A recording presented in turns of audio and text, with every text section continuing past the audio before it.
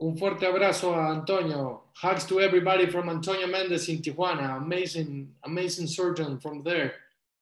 And a lot of people getting in already. We are 15 minutes away. So let's let's talk a little bit of what's happening, what's coming on Saturday. I think we're gonna have oh, a big party.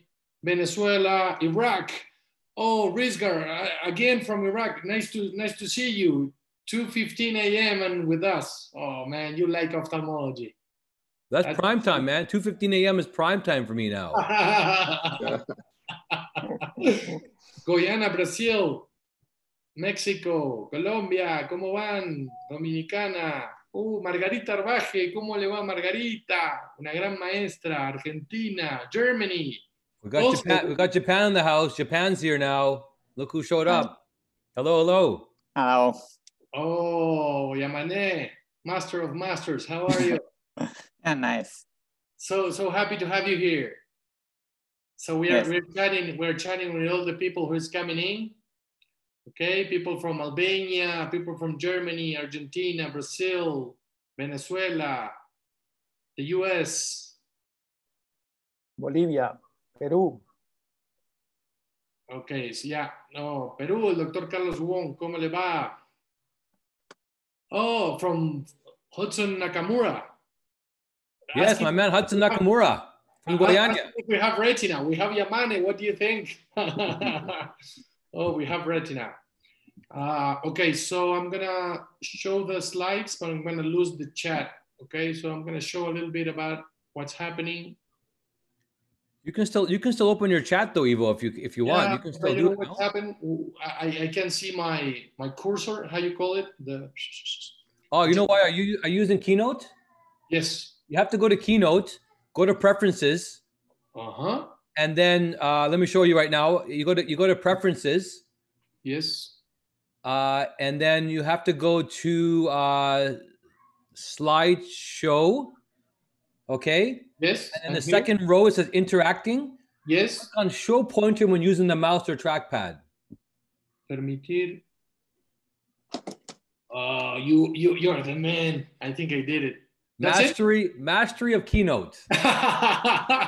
you're a master in everything, man. Come on. Oh, now it can work. Okay, so Ike is talking about mastery, but in, in everything. Um, okay, so First of all, we are more than 150 people. Hi to everybody. We, we really want, want to know where you guys are from. Look at the panel. I don't have to introduce them. I'm pretty sure you know who they are. And we ask everybody, you know, to, to go to social media, go to Oftalmo University, take a picture, hashtag in house with OU, in Casa con Oftalmo University, and tell us where you're from so we can, you know, grow the community and, be every day bigger. Uh, the ones who are going to be in YouTube, because probably there's not going to be enough space to subscribe to the channel. That's very good for us too. And even for, for, for the speakers, uh, it, it's important to understand that we are an ecosystem, right? Here is a, an open space for everybody, everybody in the world, in Latin America, that has something to share, something to talk about.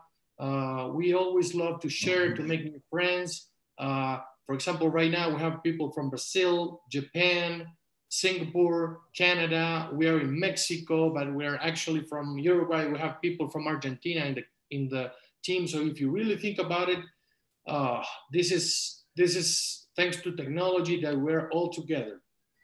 Um, well, uh, again, these are the speakers. You know, I'm pretty sure you saw this image around for the last couple of days. I think we are going to have an amazing, um, an amazing time with us. And Ike, uh, I will love you to introduce what's going to happen on Saturday because if this is in in in planet Earth, what's happening on Saturday, I think it's in another galaxy. well, this is uh, this has been a, a great. Um, result of being working together is collaborating and collaborating with the Oftalmo University uh, in all these events has been fantastic. So this is an event that is coming up uh, with FECO Extrema, with Ophthalmo University, FECO Caribe, uh, and basically uh, it's a it's the latest in the Marvel uh, series of uh, movies. You've heard of Gar- Guardians of the Galaxy. Well, this is Guardians of the Lens. And uh, we have an international cast of presenters are going to speak on individual cases. And I think it'll be a fun, interactive time. So I hope to see some of you there. No, everybody there, right? We need everybody there. I think we need to. Yes, there's no excuse. We need to show the world that we're united and look at the countries. There's going to be people from everywhere and mostly to, to teach, to share knowledge, to share skills. I think this is going to be epic, right? Be epic, epic, absolutely. Okay, so everybody who, who is signing in, um, more than 200 people, and we are still 10 minutes to go, so that's good. Like, talk so to I, everybody. I got, I got a, I got a question. I want to, I want to know where Takashi is. Where, where is he? Looks like he's in a garage or something, or like, like I can't tell. I can't tell the picture. What's up? No, I am in my barbecue place. Oh, your kitchen. yeah, it's a, it's a kind of a barbecue. Very cool. The audio, the audio has a kind of a echo.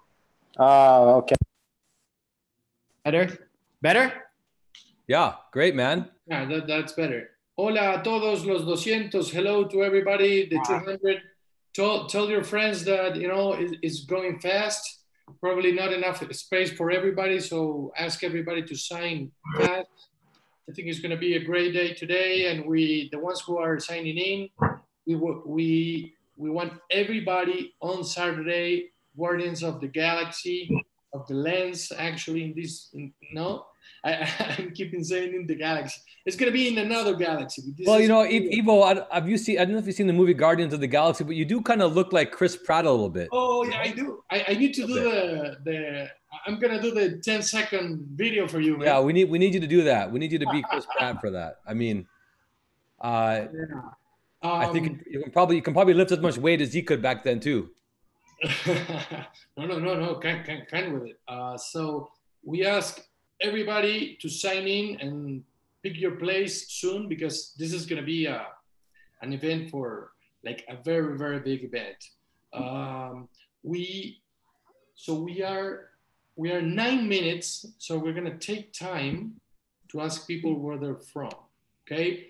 So um, lisandro please we're going to ask the audience where they're from. We we really want to know where you're from. Also use the chat please. Okay, first first oh. vote, then we can use the chat because we really want to know where you guys are from. And we're so happy that technology is uniting us, people from everywhere, every continent. I think today is going to be hard for Europe, but we already have people from Germany saying hi. So we know it's late. And our friends from Iraq, he said 2 a.m., right? He's 2 a.m. and watching us. So we're so grateful for for you giving us the time. People are still, you know, the, the number is growing, so let let keep people vote where you guys are from. Oh, Curitiba. Oh, oh, please. Uh, no, now I can see the chat. Well, so Brazil, it's it's winning Takashi, huh? Oh yeah, yeah. I can see some oh, Danielle from Curitiba.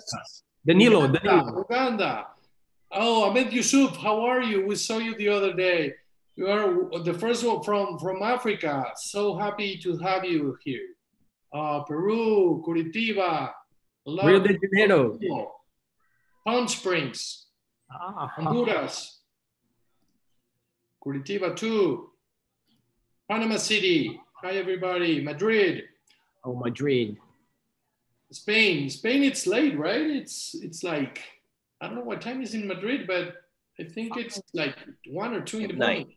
Must be about midnight. Yeah. Yeah. Yeah. Tripoli, Libya. Tripoli, Libya. The one, the first, first. Libya. Wow. First people from Libya. Great to have you here. Dominican Republic. Saudi Arabia. Italy. Nice. Brazil. Colombia. Hi, everybody. So happy to have you here. So we are we're seven minutes away. Let's let's see, Lisandro, what people are saying, what they're and let's do. A, a, I want to do a quick intro. Oh, but look, look at Latin America there. c- can we do the vote again, Lisandro? Maybe in five minutes or not? No? I don't think so. Okay. Let's ah. try. Let's try. Okay. Okay. Wow. Latin America, Europe, Africa, oh, or US, Very interesting.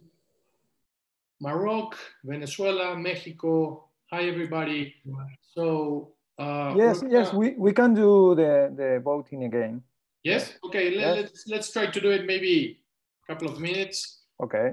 I'm gonna. Let's see if I can go back. So I'm, I'm just I'm just curious, you guys. I mean, how many how many webinars are you guys uh, like attending uh, on an av- on an average day? What's what's your day like? Oh yeah, it's it's very interesting. Like last Friday, we saw 18 webinars only in Latin America. So I just can't imagine, you know, in the rest of the world, so many. We're doing two a day. Yeah, but th- those are ones that you're hosting. But then, of course, There's a There- lot more. people who are watching, right? You know, I mean, you could go all day. Shin, Yeah. how is it going in Japan? Um, so now the number of the infection is increased. So most most of people is staying home, but, but um, hospital is do normal normally. Are are you still operating normally then? Now I, I'm um, developing my own clinic. My clinic will open next week, so Oh, now wow, I'm okay. preparing. this is my new new clinic. Wow. Congratulations. So this is the first webinar in your new clinic. yeah, yeah.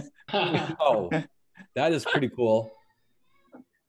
Very guys, do you think after after, after this uh, COVID thing that you know teleconferencing webinars is going to kind of replace some of the physical conferences that we all spend so much time at?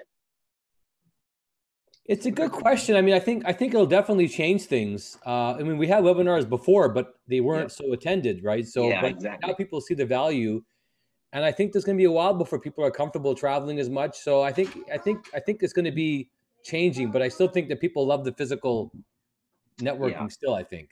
I think.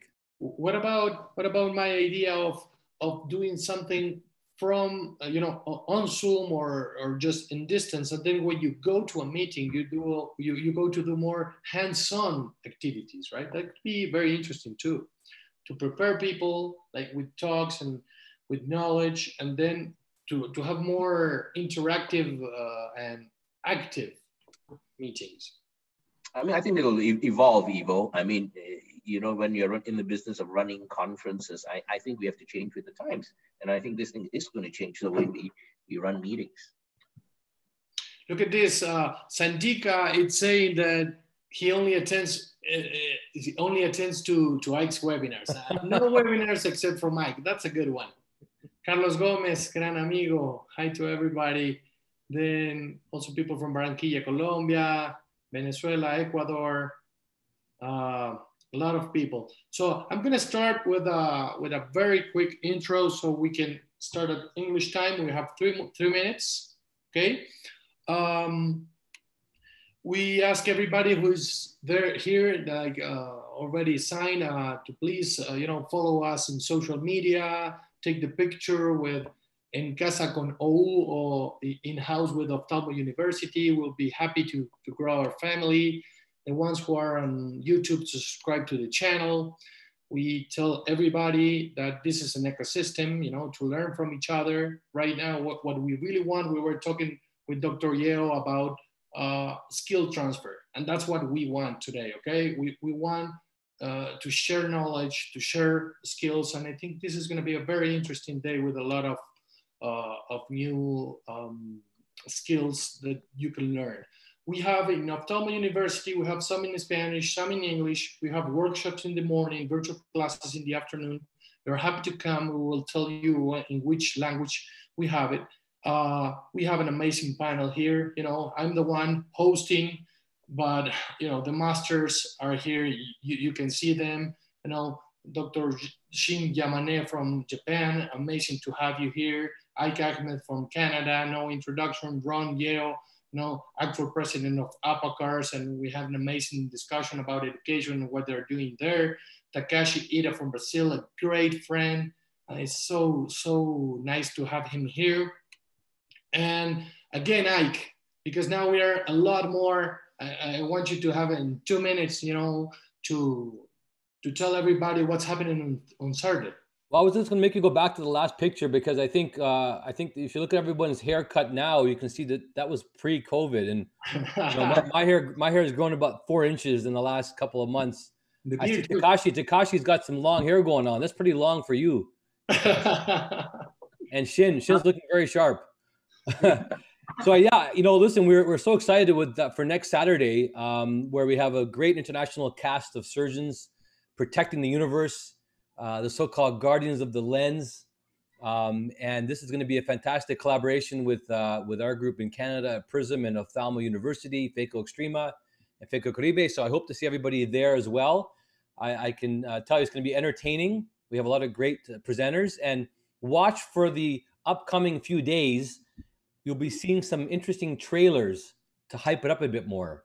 Um, and so we have our very own Chris Pratt, Evo Ferreira, the Latin version of Chris Pratt, uh, very good-looking guy, uh, and uh, you'll probably guess who the other characters are in the movie. So stay tuned for that. Okay, so we're gonna ask again real quick where you guys are from. Let's see if that chart changed it. We we had a lot of people from Latin America, but we're expecting. We already know that we have people from Africa, Oceania, Europe, you know, U.S. So we're gonna give you 10 seconds, 15 seconds to tell us where you are. You can also use the chat. I mean, we're gonna try to go fast. We're gonna try to transfer so many skills, but please feel free to, to use the chat. We're gonna try to answer everything we can, you know, during the, during the virtual class. So let's see that number again, Lisandro, if you change it. Latin America is still up, but very, wow. very high US and Canada. Huh? We have people from Europe, Asia, still only one person from Oceania. So I will, we will love to hear where, where, where is it from? In the chat, you can tell us where you're from. Okay, so moving forward. So we start right on time. Wow. It's right on time. I will start very fast with the question. We, the, the title is Mastery in Cataract Surgery. So, but what is mastery in cataract surgery? And there is going to be a second question for you. And I put one of the, you know, the master of master, the master Yoda. And we will, we will love you to, to hear from you if you think you can be a master in cataract surgery, yes or no, right? What does it take to be a master in cataract surgery? I think that's very interesting. And we're going to talk about that during the entire uh, class and, and just to, to, to learn not only surgical skills from these guys, but also what, what it took to be to you know to become a master. So please, Lisandro, tell me the what what the audience thinks. Wow, nice, very nice, right? So almost 90%, nine out of 10, we think we can be a master. So then we, we need to ask the, the right question, right? Um, what is mastery? And we all tend to think that mastery is something like genetic or we were born, you know, touched by a, semi-god or something. But I love this quote about one of my favorite writers that mastery is not a function of, of genius or talent. Rather, there is a function of time and intense focus applied to a particular field of knowledge. This is Robert Greene in his amazing um, book called Mastery. And let's see if you know the, they agree with me with this. What, what do you think, Kai? Do, do, do you think um, there is something true about this quote? Well, I, I think you're absolutely right. I, do, I don't think I don't think to be a master necessarily means that you are very talented or even a genius. And I think that you're that you're absolutely right. Mastery is an ability to uh, focus your energy and your thought toward one sole purpose, and to do it as efficiently as you can uh, and without uh, mistake and, and with minimal effort required to achieve uh, the task. And I think that's a great way that uh, that you've quoted here. Uh, but I think it probably means something different to each of us and, and how we measure it. But I agree. I think that it really is a, it really is a function of how you uh, you can you know refine your art into something that is so reproducible and so predictable that you hardly have to think about anymore. Great, D- Dr. Yamane, what, what do you think about this uh, of dedicating intense focus, for example, with your new technique. Do you think, do you agree with this quote? All right. If you agree with this quote, quote about, you know, intense, intense focus on something to become a master. Mm, and I, I don't know how, how to be a master, but uh, I think knowledge is the most important factor to be a master, and not not um, skilled or good hands, but, but uh, knowledge is very important to be a master. I think. Great. So let, us save the, the the questions for the other um, the other panelists. Um, so we, we're talking about what mastery is. Then the next question is how we can achieve this mastery. And as we can see here, even Master Yoda was young, right? So he had to acquire that mastery. So when we talk about um, us as surgeons, I think it's very important to understand what it's a competent surgeon. That is somebody who knows what to do in surgery. Then we have a good surgeon, something that has acceptable outcomes. Then they come the great surgeons. We were with Ike one week ago talking about from good to great, many interesting um, secrets to, to, to be great. And be great, uh, in my humble opinion, is to have repeatability of outcomes, to manage complications and complications. But then there is something extra, that it's mastery. Is all those colleagues we see, they have creativity, they can be mentors, they invent new uh, instruments. So one, there's gonna be four tips to, to be a master. And the first one, everybody will tell you that is to have goals, but not any goal, to have a specific goal that you can measure, that you can reach, and, and, and you put a time in that goal, right? The second one, and this is because of I'm from Uruguay, you know, and sometimes it's easy for us in South America to attach emotion and meaning to what we do. Look at the panel. These guys love what they do. I can tell you, like, only foresee them that they love surgery and that they enjoy it so much. The third one, and one of the most important ones, sometimes we miss a certain is to measure what we do. Okay, you cannot improve what you don't measure. So you measure what you do with the correct feedback, and then you can become, become a master. And the final one, and one of my favorite, it's about to practice, but not any practice they say that only perfect practice makes perfect, right? And we call this deliberate practice. You can see uh, there Curry, you know, playing with two balls, playing basketball. He knows he will never have to, to be with two balls in a court, but that he knows that if he trains that way, he will be even better. The last one, and it's not only because they love to teach, I think masters teach because it makes them better. When you have to teach something, it's for sure that you need to be better. My, I'm gonna finish this with, the, with a perfect example from Latin America that is an honor for us. It's Dr. Luis Escaf that had the ability to be creative.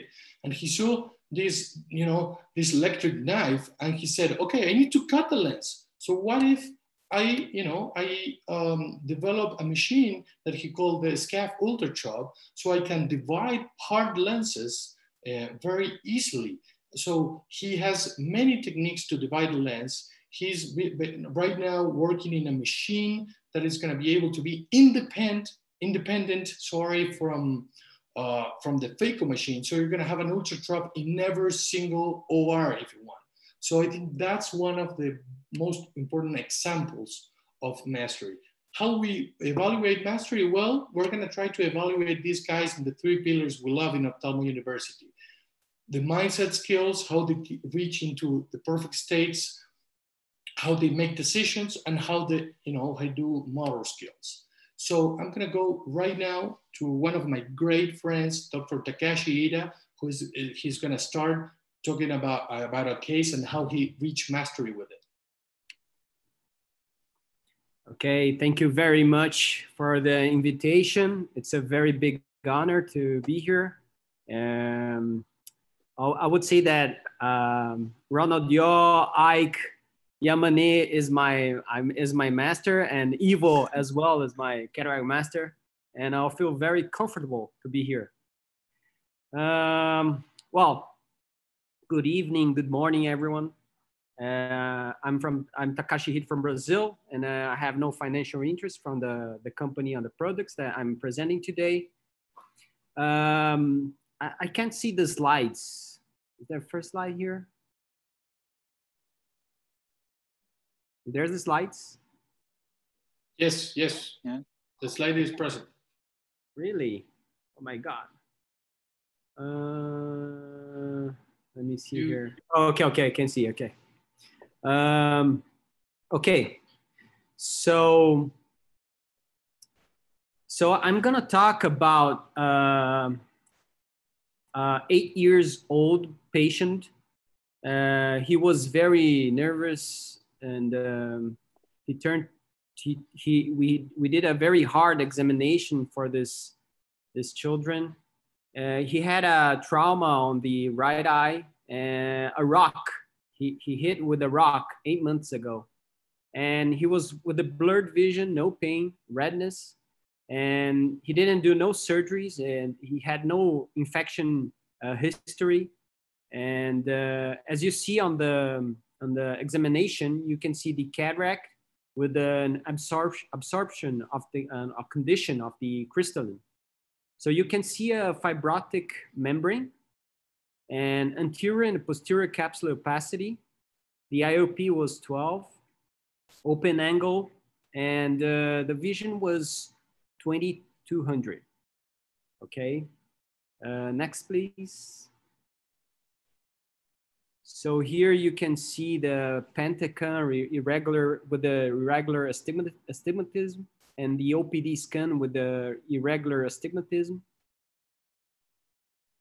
So next. So here you can see the, the IOLMaster didn't uh, calculate the right eye. So you, we had to do the, the OCU scan, the A scan, you see the endothelial the the endothelial count is uh, unremarkable. The fundus and the um, ultrasound was unremarkable. Next. So here you can see on the Pentacam uh, the oculus Pentacam the Scheimpflug crystalline you can see the absorption absorption condition and the fibrosis membrane. And you can see the image of the anterior and posterior capsular opacity.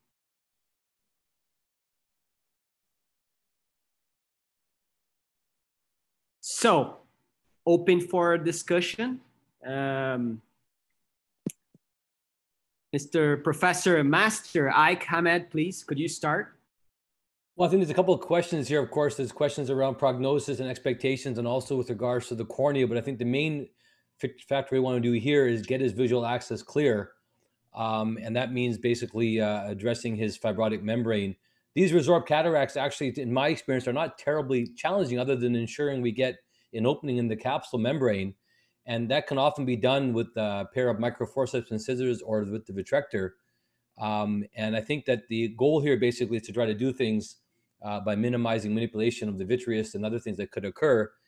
And I'd have one more point about the about the cornea. I'd want to evaluate more about why, what's going on with this cornea and whether there might be a benefit in some some treatment there. Excellent, excellent. Dr. Shin Yamane? Yes.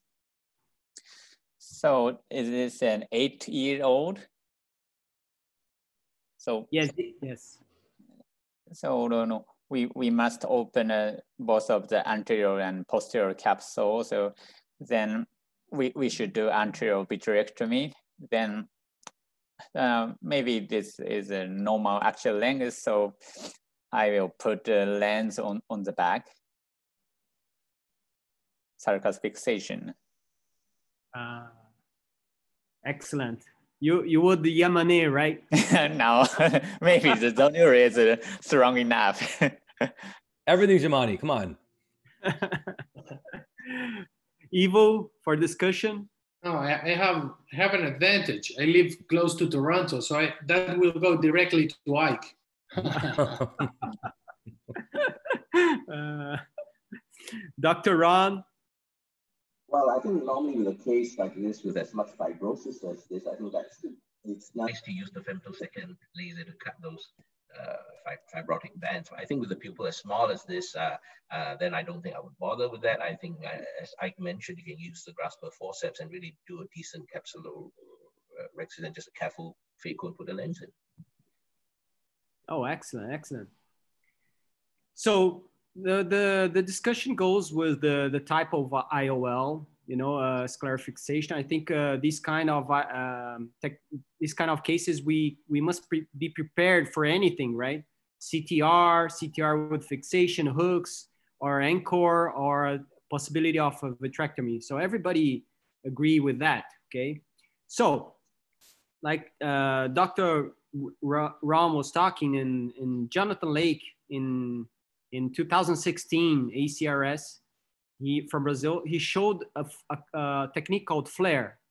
Uh, he used spot separation, uh, high spot separation with the spot energy, high spot energy to, to do fragmentation pattern and to create uh, a six pie shaped wedges. Um, so, so he used this to, to cut IOLs with the Fento. So thinking the same technique, we we did plan uh, a way to do um, uh, capsulotomy and fixate a three-piece IOL on on the on the capsule on this capsule. Okay, so since it's fibrotic, we don't have crystalline, only capsular bag. The next step would be to do the, the, the laser. So we, we have two platform of laser and we use the LenSx.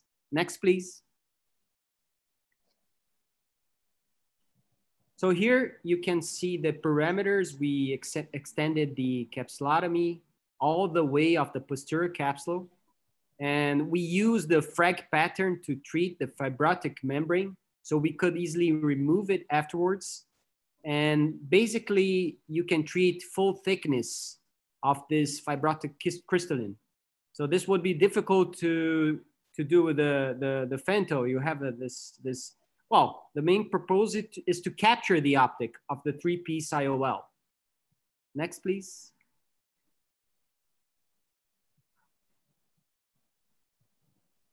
So you can see uh, as the Fento laser is applied, uh, I usually use the, the ASICO slate and the lane femtosecond spatula. So in this case, um, the, the capsulotomy uh, um, was not free floating. It has a soft membrane and we had some tags. So we removed the capsulotomy gently with the Akahoshi capsular hex forceps. And then I performed a viscodissection, removing the posterior fibrotic capsule. And for my surprise, the posterior capsule was intact. Mm. So applying a soft maneuver to separate completely the fibrotic membrane from the posterior capsule. And you can see the, the, the, the result, the final result with the single piece IOL in the bag. So I never could be better with the application of the Fento laser on this case Did you use capsular hooks or a Malyugin ring to deliver the laser, uh, Takashi? Huh? Did you use the capsular hooks or Malyugin ring to enlarge the pupil to do the femto laser? No, no, no. I, I used the limit that I had. So you can see on the, the picture, this is a 45th day uh, post-op operative day. And you can see the pupils is enough to do the capsulotomy and uh, the IO was centered. We had a PCO. It's a it's a it's a eight years old uh, children. So so we had a, a, a one plus rate of PCO. Okay, so well, like the lesson is always be prepared for complication. On this case, it was planned a three piece IOL, and we we did put a one piece IOL I think uh, new approaches are needed to Fento in complicated cases.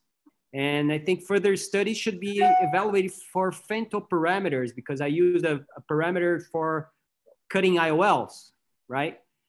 Well, in this case, we increased spot energy and spot separation. And I think the, the result was 20 happy. Thank you very much. Thank you very much, Takashi. Amazing. Just one quick question for you. We're talking about mastery. what do you think about um, using and adopting technology to be a master? Because somebody will say, you know, technology eh, will not make, make me a master. I think you resolve this with technology and that can make you a master as well. What do you think? Yeah, you know, as I, I, I showed other techniques that people are uh, trying to use technology for other things, you know. So on this application, let's say that people usually do, wouldn't use uh, Fento, okay? But um, I was re really surprised with the result. I didn't expect it would be like this. And I think people have to have open mind, you know, to use new instruments, new technology for, you know, new cases, new situations. And I think all all here masters of the masters knows knows and do that every day. Thank you very much. Thank you very much, Takashi. Dr. Yamane, please. Yes. Now it's your turn. Thank you Yes. for being here. Yeah, thank you for inviting me. I'm very happy to be here. So my, I have two cases and um, it's a very special case, difficult conditions. Please go ahead. No financial interest. So I have two cases, traumatic posterior capsule rupture, and I have uh, present, I will present a new technique. Next, please. So the first case is 17 year old male and uh, he had an injury of the with a badminton shuttle. Then uh, and his right eye developed a cataract with an posterior rupture and uh, we, we can see it in this slide, but the um, horizontally tear is on the posterior capsule. Next, please. Uh, so the cornea has astigmatism, but uh, normally. Next, please. Please, okay. Then I started the surgery. I first do an LLI. I have no femtosecond laser. So, and I started to do an anterior caps CCC and I put in the silicone. So, sorry to interrupt you. What, is that device you're putting? And second, why why, why we, we are seeing green? So, and this is a mature cataract. So I stained the anterior capsule with ICG mm -hmm. indocyanine green, and I put the silicone ring in the anterior chamber. This is a six millimeter diameter. So I can use this link for guide and the other question is, what do you use to film your your you know your surgeries? Because it, the quality it's extremely high. Sorry. The, the, the quality of the of the film it's it's it's very good. Oh, thank you. I I use an Zeiss microscope and Ikegami video system, and I try to aspirate the lens with 25 gauge vitrector with an infusion with 20 millimeters mercury. But I, I feel the infusion is too high. So I put off the infusion and just aspirate the lens with vitrector because the posterior capsule is ruptured. So the lens tend to go posterior so that I just aspirate and sometimes I fill the BSS, add BSS to maintain the IOP manually, by manually.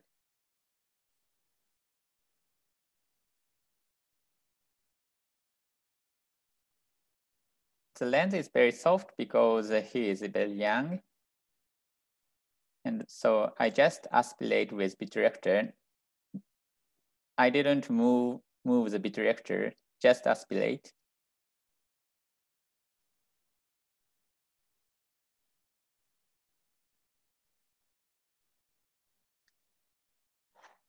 Do you think it would have been more effective using a sort of IA tip from a phaco machine rather than the vitrectomy tip, Shin?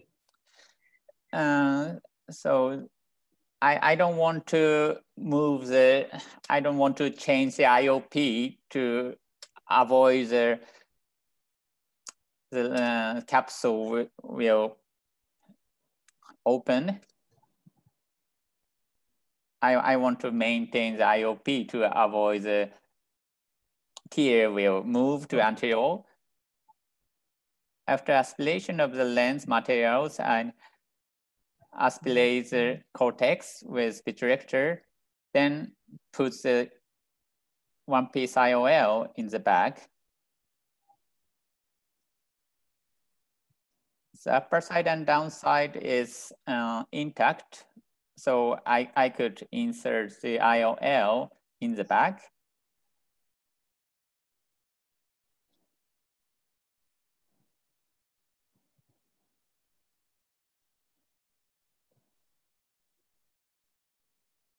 His his parents uh, want to put the put the lens uh, multi, multifocal lens in his eyes. So I, I didn't recommend, but we discussed and uh, we decided to use a multifocal lens for him.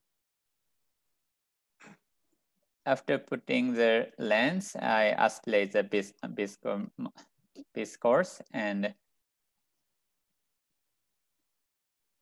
and trim, trim the posterior capsule.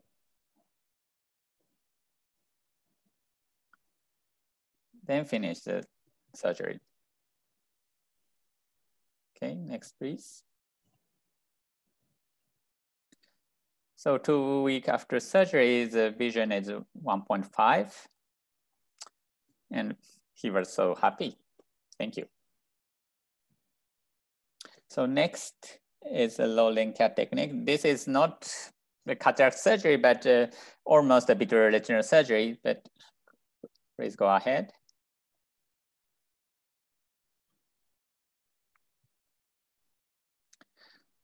So for when I meet to the lens, crystalline lens dislocation, we have some choice.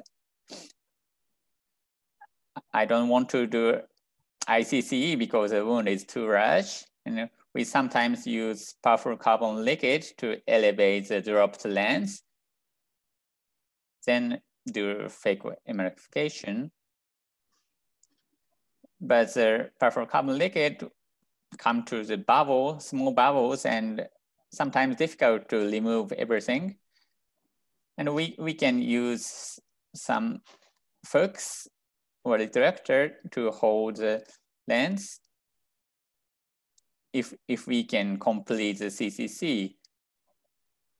But in this case, the lens is completely dislocated, so we I, I couldn't do CCC, so uh, I decided to remove everything. I first bent the 27 gauge needle like a sword, Japanese sword, and penetrate the lens center with the needle. Then starting to remove the lens with an PA. Then the, the lens comes roaring and lowering.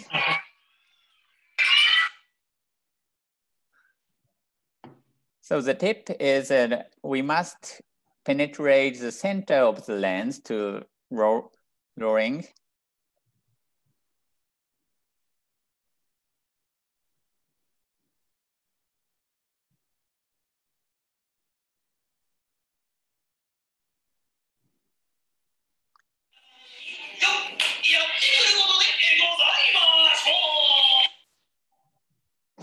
So some fragments was dropped, so removed with vitrector.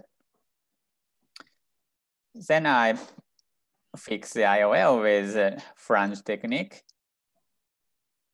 I penetrate and insert the 30 gauge single needles with a needle stabilizer.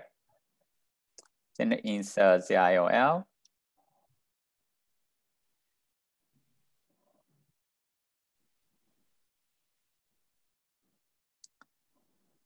Then insert the trailing haptic into the second needle.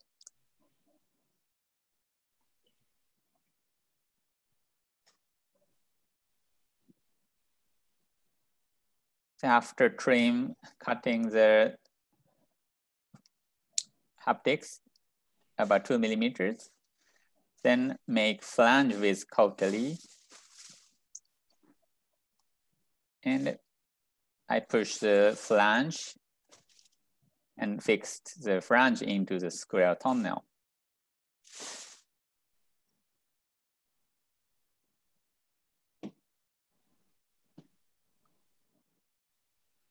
We, we must uh, fix the flange completely inside the square to avoid the movement after surgery. Okay. So I, I named this technique the lowering cat cataract, lowering cat technique. And this is my take home message. There are loads in difficult situations. Thank you for your attention. Amazing, amazing, Gene. Uh, I have a question from the first uh, surgery. Sometimes we get uh, to do talks about uh, premium IOLs, multifocal IOLs, and people are are scared to put them. Let me get this straight. You put it, it was traumatic. You already knew that you have a, a posterior capsular break and you put a single piece in the bag and you, and the, the eye was perfect the next day and long term too? Yeah. Interesting. It's very interesting, you know, to, to, to see somebody do it like that, to, to not be afraid of those cases. Yes, but I prepared, of course, three-piece IOL for on the back fixation, and I have uh, another choice of um, um, of square fixation. So in in that case, I fix a one-piece multifocal lens in the back, but I prepared another choice. Perfect. Guys, another question. Yeah, there's a person that asked what was the marking device used for 30 gauge needle placement for Yamane optics? So you mean a needle stabilizer? Yeah. Yeah. He, um, he asked for the stabilizer. You, uh, yeah, you can get it from Geuder, German company. Yeah, yeah. But why, why did, why, why you recommend to use? He's asking why. Yes, um, the insertion angle of the needles is very important to avoid IO tilt after surgery. So it's not so easy to control the insertion angle. It, it must be symmetrically, but uh, I, I can do without needle stabilizer, but for beginners, I highly recommend to use needle stabilizer to avoid IO tilt. Uh, no, perfect. Hudson Nakamura is asking if it if you were using 27 gauge. Yes, uh, I I always use 30 gauge single needle, but you can use 27 gauge. Some some doctors, especially outside Japan, uh, use 27 gauge needles, and so if, if you make the flange large enough, it, it will work. Yeah, um, yeah, lot, lots of people are asking, especially the Brazilians. Um, I would I would like to say that Yamane Yam, Yamane is like uh, a verb to us, right? Uh, he he changed the world uh, fixation techniques, right? And we we hear a lot that uh, Yamane in in Europe or United States or other countries, especially in Brazil, he, had, he did a live surgery, uh, sclerofixation in BRASCRS in Brasilia last year. It was really, really fast. And I was really surprised when I asked you how many minutes you needed. And you said, ah, 20 minutes. And I said, oh, 20 minutes, okay. Uh, he said, no, no, it's uh, 15 vitrectomy and five minutes to do the fixation. I was really impressed, really impressed and and you did it live sir you did it you you showed this live so it's very really impressive thank you very much thank you thank you very much Okay, let's continue with Dr. Ron Yeo from Singapore. Thanks very much, uh, Ivo. Uh, good evening, uh, everyone. Uh, thanks for having me here. I have no financial uh, interest. I thought, you know, we've seen uh, a, a, lot of very complex cases. And to me, I will add to what mastery is, Ivo. And mastery to me is also not being ever surprised by anything that the eye presents you. Next slide, please. So I thought I would talk about these cataracts that are neither here nor there. Now, cataracts are, are, you know, the very dense ones, and we're going to hear a lot of talks about that. And you know, if you rupture a capsule in a cataract, you blame the patient because you came so late. But if you rupture a capsule during a soft cataract, the cataract marsh, who are you going to blame? So I think it's a very important topic. Next, please. So, and, and you, next slide. And if you take this point that soft cataracts can be hard, you know that we are faced with all these variety of uh, cataract densities. Next, and how we classify them, LOCS III, NS125, soft, hard, and I would like to introduce you the concept of neither here nor there, which means not so soft and not so hard.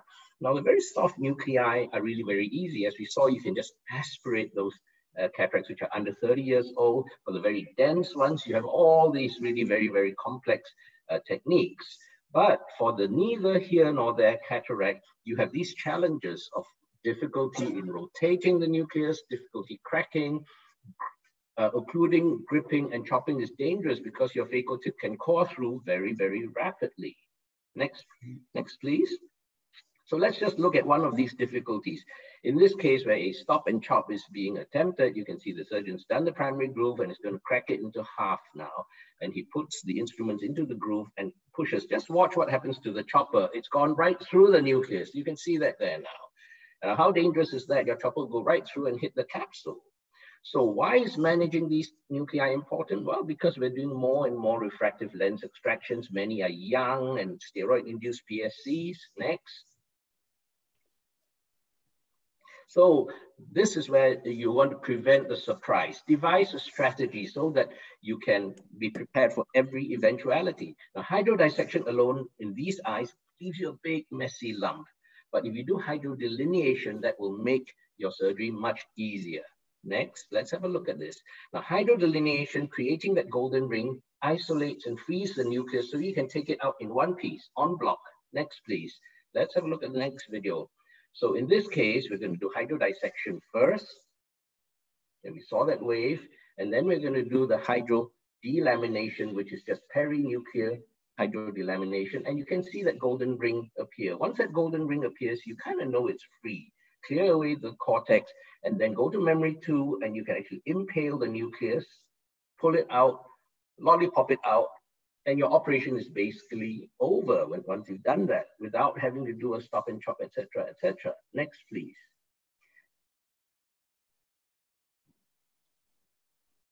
Next slide. Now, what actually happens when you're hydrodissecting or hydrodelaminating? So I'm going to use this new technology of live OCT to show you what actually happens. We've done the hydrodelamination. Here, you can see that the nucleus, which is in gray on the right there, and you can see the fluid uh, level underneath that nucleus, which shows you that your nucleus has been freed by the hydrodelamination, which allows you to do the en-bloc removal. And when you've removed the nucleus, you can see the empty uh, space occupied by that nucleus. So I think this is such an important technique uh, to use. But sometimes we do stop and chop on a nucleus we think is hard enough and find that it's neither here nor there. So how do we modify our technique? Well, if your nucleus is on the soft side, do deep narrow grooves, be careful of impaling, but do a quick vertical chop almost before you apply any energy. Next, please. Because if you apply energy too soon, you will core through. So here, we're getting ready, and as soon as we start, we are going to chop right away before impaling, before getting grip, because the nucleus is just too soft. And again, on the other side, position the instruments and do a quick vertical chop almost before you apply any ultrasound energy. And that way you will get away with these uh, stop and chops. What about FLACS? Is there any point using FLACS in the already soft nucleus? Well, there is if you want a perfectly round CCC, but you need to modify your technique. Next.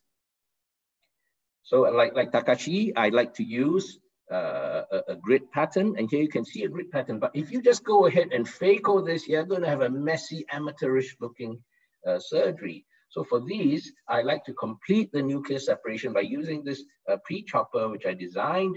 And if you use the, this round pedal pre-chopper and go into the nucleus, you will find that you can separate that nucleus very nicely into half, which already makes your surgery easier. And then by rotating it around, you can then complete the other quarters using this. Again, you can see it's like a ping pong bat. Uh, again, this was based on an Akahoshi design, and that works uh, uh, very, very well. And then after that, you can uh, go, go ahead and phaco the uh, nucleus. And in this particular case coming up, next slide. Next slide, please. Yeah. And in this particular uh, nucleus, it's already had a grid, it's already been quartered into four quarters.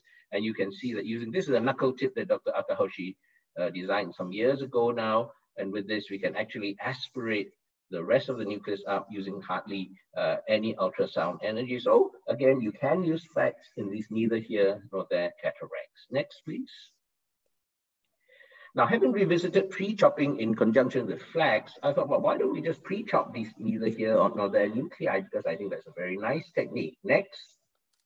Now, if you use the Akahoshi Karate pre-chopper, and you can use either a combo two or the new combo four, you can see in this neither here, one plus, one and a half plus nucleus, that you put the pre-chopper in, you crack it into two halves in a moment, and then rotating it around, you crack it into four, all without the expense of a femtosecond laser and the extra time that it takes.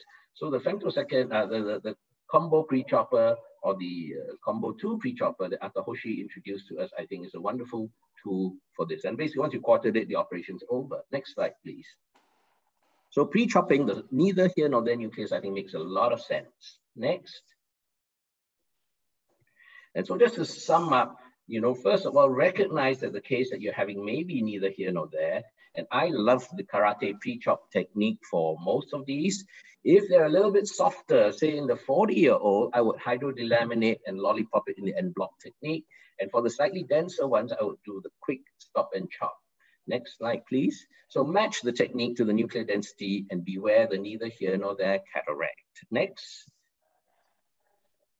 So our APACRS was supposed to be in July 2020 in two months time, but we've now moved it to 2021 in July as well. Thank you very much for having me, Ivo. Thank you. Amazing, Ron. We, we will all be there. I for sure is going to be there. But well, actually, Ron, he's our limb lecturer. I was supposed to be there, and I was to it, so I, I, want to be there next year. No, we're looking forward to you. I, I seriously want to say that I love what you say about having a plan. You know, somebody has a plan and an algorithm for everything. It's prepared and, and it's a master. I, I agree 100%. I would like to know what Ike Ahmed thinks about not here, not there cataracts. You know, this guy, he has, he, he's in, into the extremes, hard cataracts, hard cases. What is your approach, Ike, to this kind of cataract? I think Ron, I think you said it very well. I mean, we often don't talk about it, but the soft lens can give people a lot of problems, and it's not just the getting the surgery, but doing it skillfully and doing it in a slick manner. Like you said, we can get it done, but it looks very messy, and it's just unsatisfying, and it's probably not good for the eye either. So I think you're getting great pearls. I, the biggest thing for me that I found made the biggest difference for me was hydrodelineating and laminating the lens into multiple layers, at least two, because it allowed me to separate the endonucleus and remove it and then flip the epinucleus. And when I had that, the light bulb went off.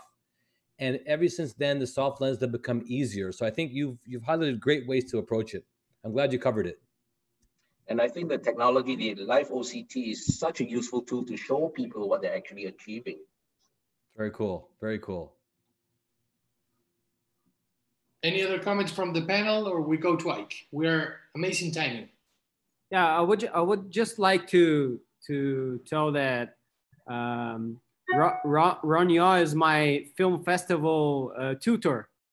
He's helping me with a uh, with an uh, serious IFUS uh, we we did in in in Xingu, Xingu Indian tribes.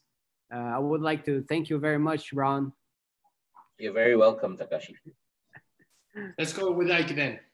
Takashi, are, you editing that in your kitchen or what? I mean, uh, you got multiple purposes in there. It looks like. So, Eva, I want to thank you for uh, for inviting me to this panel. Uh, this is about mastery of cataract surgery. We've talked about good to great and to be, be a master, and I think technology has really helped us a lot. But I, I want to, and Ivo, you asked me to talk about things that are more widely applicable. So, I'm not going to show complicated cases, but I want to show cases that could be done in a more slick manner, in a more efficient manner, a very focused manner and I'm going to talk about using our bare knuckles. Okay, bare knuckles. This is where real fighters play, right? We don't need to use gloves. We don't need to use a machine gun or a knife. We use our bare hands, right? With all due respect, okay? And we get in the ring and we fight. Whether you're a woman or a man, that's how you basically earn your right to be a master, in my opinion, with a little bit of ex- extravagance. We have to know, however, the parameters are working. And obviously, we're phaco surgeons. I think that's a universal you know, uh, applicability access. I want to differentiate between chopping and quadrant removal. Let's remember in chopping techniques, you're trying to lollipop the lens. You're trying to enhance holdability. We want to occlude. We don't want to break occlusion. We want to occlude to hold the lens, particularly during chopping. That's lollipopping. For those techniques, if you look at my settings, I don't use torsional. I use longitudinal phaco to drive the nucleus, drive the needle into the nucleus and hold it. I don't want to have a larger opening. And I have very high vacuum, 650 millimeters of, millimeters of mercury here in this case, at the beginning of position one, position three, sorry. And as I and I want to hold that lens when I'm not doing phaco at the highest amount of vacuum, and that's why it's at the at the end of position two, early part of position three. Quadrant move, on the other hand, I don't want occlusion. I want followability, and I want a carousel. Carouseling very much like uh, like Shin Yamane showed with his technique of carouseling around a 30 gauge needle. Although here we're carouseling on our tip. And for that, torsional phaco is advantageous. And for that, we want a higher flow rate. So let's play some video. And I'm going to basically just show again using uh, different. Oh, one last thing is I'm a big fan of linear control of settings. I won't debate with my fellow colleagues. I mean, anything can work, but linear control gives us more control. To be a master, you have to be in control. And controlling fluidics is critical to allow the machine to work with you and your foot and this allows you to encounter all kinds of lenses. Let's let's play the video there, and what you what you'll see is uh back back one back one uh, back two two slides if you don't mind. Uh, I have two videos to share with you. Just the one before that. This for, before this one, it's a small pupil case. I get a lot of difficult small eyes with small pupils, and these patients often can't even be dilated for the risk of having an IOP spike. Lizandra, if we can go back to uh, slide uh, five. Uh, there you go. That's the one there. So you'll see I do this under topical anesthesia. I dilate the patient on the table with a mixture of phenylephrine and lidocaine under topical anesthesia. I have control of the eye by doing it in this manner. I like clear corneal incisions. I think a nice, you know, 1.5, 1.75 millimeter length incision is good. And here I'm just making sure there's no posterior synechia. Now, what I want to show is this capsulorhexis technique, which is very simple. We don't off, we don't need to use capsular retractors or pupillary rings we can basically use an uncovered technique where essentially we're looking at the way the flap is tearing. We can use direct visualization using the Kuglen hook, but the idea here is to use your extra senses. I think to be a master, you have to have your spidey sense working. You have to be able to, we want to be able to sense things beyond the obvious. And here, what I'm looking at is not the where the tear is, I'm looking at where the tear is going. The difference. You know, in Canada, we love hockey, and they talk about Wayne Gretzky, one of the best hockey players in the world. He didn't go where the puck was. He went, he went, he, he went where the puck is going, where the ball is going. And here we're looking and seeing where the flap is tearing by looking at the way the flap is tearing and making sure it's tearing in the right way. We can do this without visualizing where the actual tear is. The problem with small pupil phaco is not small pupil phaco. The problem is small rhexis phaco. And so here we essentially are making sure we have a good size rhexis. Once I have a good size rhexis, I feel I can manage this case. I'm going to show you what I call the hemiflip technique. It's basically using chopping here with a basically a hybrid horizontal motion chop. And this is important for softer lenses. And I flip the heminucleus on its side. Watch right now. You'll see it happens very quickly with a quick move of my chopper and I bring it up. And for me, this is a very predictable technique. And I want to add another variable with mastery is predictability.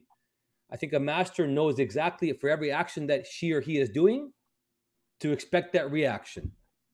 And by having that, you're already two steps ahead because you know what's going to happen next. And I think that's another attribute. Ivo, we talk about teaching how to be a, how to try to be a master. And I'm not saying I'm a master, but I try to be able to do procedures like this, knowing what to expect.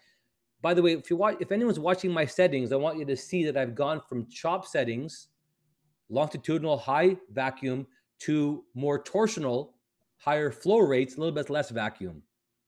And this allows me to take advantage of between holdability versus followability, two different approaches for different parts of the procedure.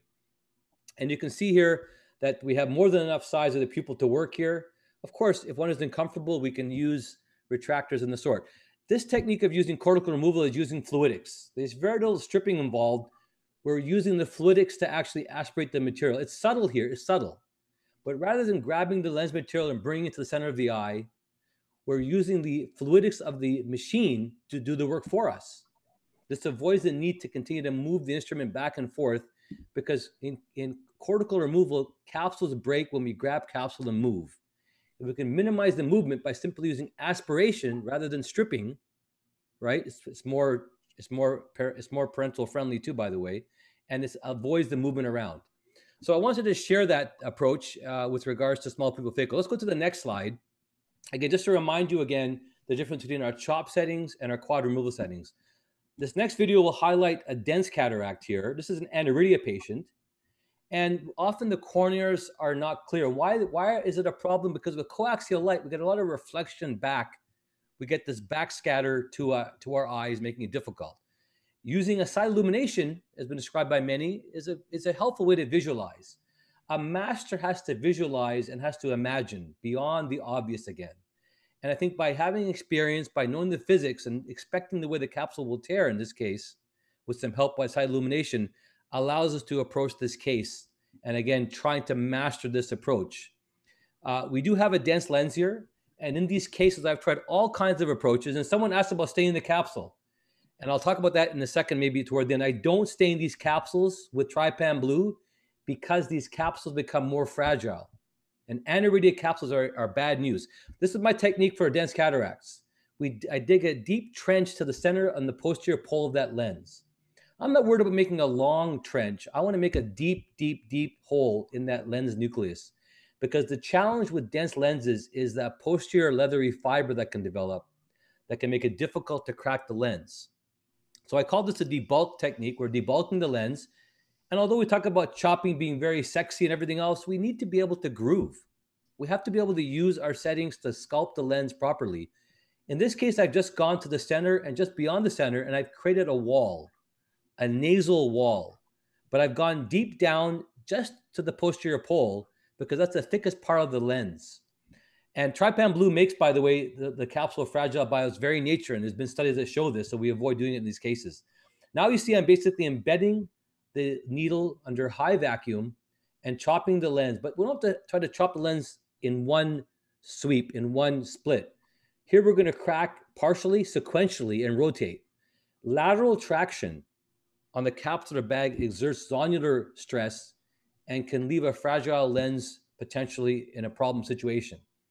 Once we have it cracked now, the hemisections are important. And I think every master, I think, who does cataract surgery is always relieved to have the lens that's been cut in half. This takes away a lot of the, the concern we have. And I'm addressing this to all surgeons out there, beginners as well as experienced. We're going to be careful and chop the lens into, into small fragments. Usually I chop at least, you know, uh, three, four times when we have a denser lens. And now I want you to watch for followability. Look at the minimal chatter. This is because we have the right combination of power delivery and fluidics. Ivo, a master has to be knowledgeable. They have to know this machine inside out. And don't look at it as a handicap, look at it as an advantage. And that means programming this machine, you know, so well to your technique. It means going back in the lab and experimenting with different settings it means, you know, understanding how machines work, how flow-based machines work, how vacuum-based machines work, and how power is delivered. I know it's not very sexy again, and I could show a very complicated case here, but I want to show a basic procedure here, which will lead on to dealing difficult cases. Viscoelastics, very helpful to add during the surgery for dense cataracts to protect the cornea. Again, watch how we see how the pieces carousel. This is carouseling. Carouseling is a very effective means of minimizing chatter by using fluidics, power delivery, and a second instrument. Often at the end of the case like this, we have a challenge. We have the last piece here is dense cataract. We're worried about the posterior capsule. In these cases, it may be helpful to remove the second instrument from the eye, to use a dispersive viscoelastic under the fragment. Just pause for a second, and then we can we can continue along with the procedure again, taking advantage of a more blunt instrument. So Ivo, I wanted to share those pearls. We can go to the next slide. I wanted to share those pearls uh, with regards to handling small pupils, uh, doing uh, softer lenses with a hydrodelineation as Ron showed and, and a hemi flip, and then using dense cataract settings for denser cases, understanding how to master the machine. Don't let the machine master you. Don't rely on the on the representatives to tell you how to how to do your phaco based on settings. We need to master the machine ourselves, and that means we have to know the machine works and know how to use our bare hands, our bare hands to get the job done. So thank you, Ivo. Oh, th- thank you, Ike. This is unbelievable. I think you gave more than 30 tips in 10 minutes. Uh, I, I really like the, the awareness, the anticipation, the thinking beyond the obvious. I think that's one of the real secrets of a master, right? Yeah, I think that's what we're trying to share here. Is I mean, we want you to learn new techniques, yes, but it's not just learning new, new techniques; it's applying a, a different logic in your approach to becoming from competent to becoming super competent, which I guess is what mastery is about. Something from the panel to, to comment? I would just add one thing, uh, Ivo. With you, you had a very nice question. How many of your delegates can achieve mastery? And it was about 90% thought they could and 10% couldn't. My message would be that, you know, very few of us can be master surgeons like Ike. I mean, we're not born with that talent. But I think if you strive to be a master, even those 10% will at least be the best that they can be. And I think that's what it's about, being the best you can be, whether you become a master or not. Very, very, very good. Yeah, I, I, agree. I agree, Ron. I think, and, and we can't stand still, right? I think everybody on this panel is always innovating and changing and evolving. And if you're if you're status quo, you're falling behind.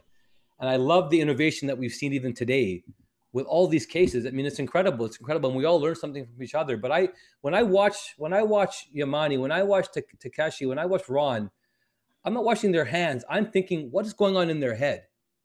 That's what I'm thinking. What's going? What are they thinking about right now? Why do they think that? Like many of you have been asking on your questions, and that's exactly the way to think. Is why did why did she or he think to do that? Very nice. Um, I since you were talking, uh, we we, we want to use this moment to invite everybody to Saturday real quick. Well, yeah, I mean it's incredible. You have you've had well over a thousand people here, and also on YouTube as well. I mean that's a testament to uh, to you, Ivo, and your team. Uh, we're going to collaborate again on Saturday, man. It's going to be amazing. This is this is like going to be an epic webinar, and we invite all of you to keep that date in mind. Saturday at 12 Toronto time and your time anywhere in the world. It's our mm-hmm. time, uh, and we invite you to to, uh, to be part of the guardians of the of the lens.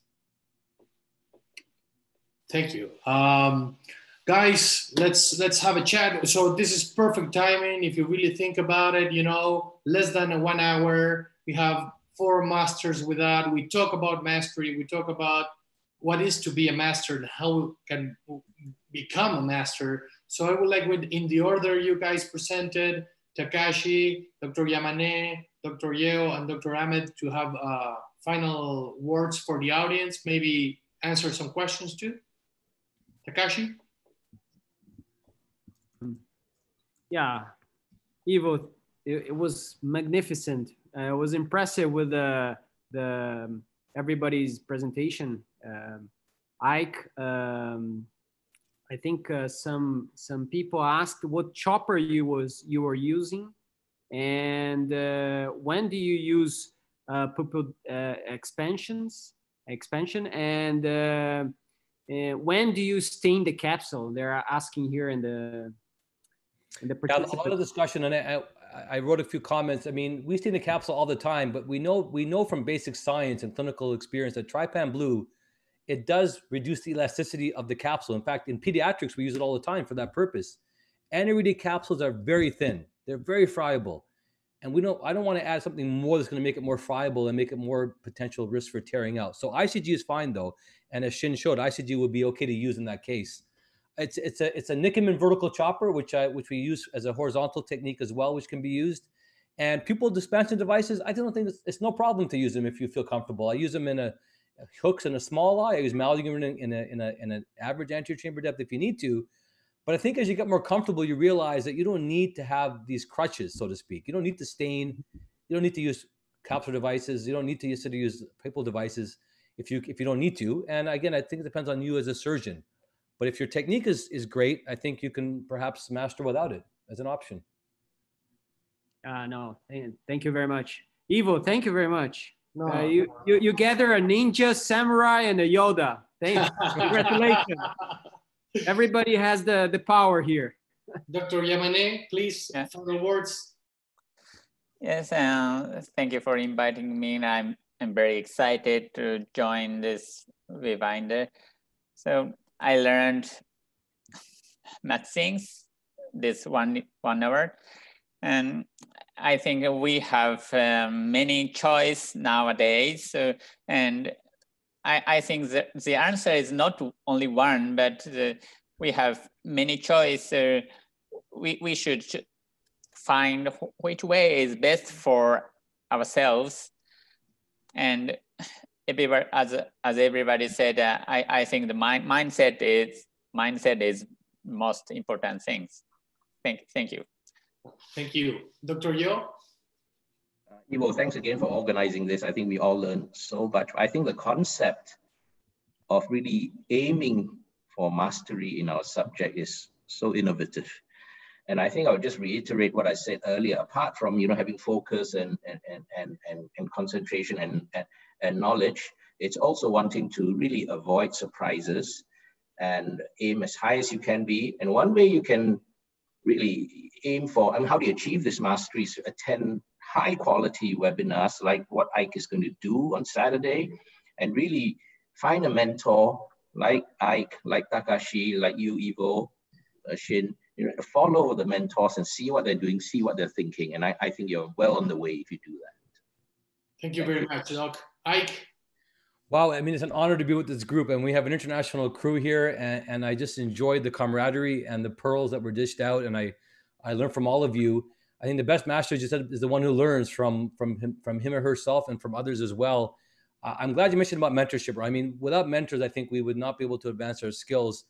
And I think I want people to be mindful of not just thinking about the surgical technique. I mean, that comes later. It's the mindset, the thinking uh, as we talked about earlier, and the cognitive part about decision making, which is so important.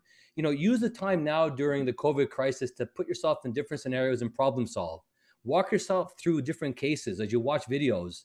Replay this and say, what would I have done? What would I have done differently? And, and play through the different role playing scenarios. That's amazing. I mean, you know, I've been practicing writing my left hand.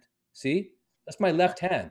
I've been spending the last few weeks working my left hand writing. I'm right-handed because I want to I want to just be better at my left hand, right? I mean, use the time to do different things and become a master of different skill sets, whether it's writing, brushing your teeth, or whatever else you may do in your own time at night.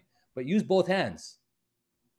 Thank you so much. You- You're so right, you know. Uh, But, but one of the, the, the most important principles that keeps coming from every single speaker is to think differently, right? We, we go back to Steve Jobs and stay foolish, stay hungry, think different, approach things different, but always with a goal, always with a plan, always with doing some benchmarking, putting milestones. You know, you need to go where you're going, you need to know where you're going, but also thinking it from a different perspective. I, am really emotional right now. I, I, I want to thank this amazing panel. I'm here just trying to moderate these geniuses. So thank you for your time. Thank the people for from for their time, and I, I will try to answer all the questions. You know, I, I know it's late for many. It's it's early actually for Yamane and Yeo, but. Um, but, but we will try to answer all these questions and we wait for everybody on Saturday. Let's do something epic. Okay, guys? Thank you so much for your time. We'll see everyone on Thank Sunday. you. Peace, love. Bye.